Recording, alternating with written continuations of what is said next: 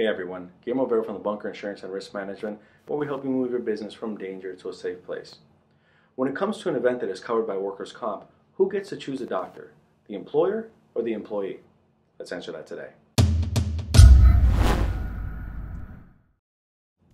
If your employee gets injured on the job, it's you, the employer, or the insurance carrier that has the right to choose a treating physician in most cases. Now, even though they aren't able to choose their own doctor, there are a few exceptions to this rule. There is a change request option in case the employee is unhappy with the doctor. Now, this will still have to be authorized by the employer or the insurance carrier, and in most cases, it can only be done once for any one accident. There are also three exceptions. One, if it requires immediate assistance, no authorization is required.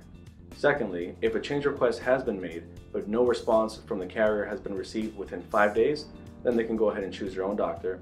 And lastly, if they have a managed care arrangement or a network of doctors, then the employee can just choose from one of those doctors within the network. So there you have it. The employer chooses first, but there are exceptions to the rule.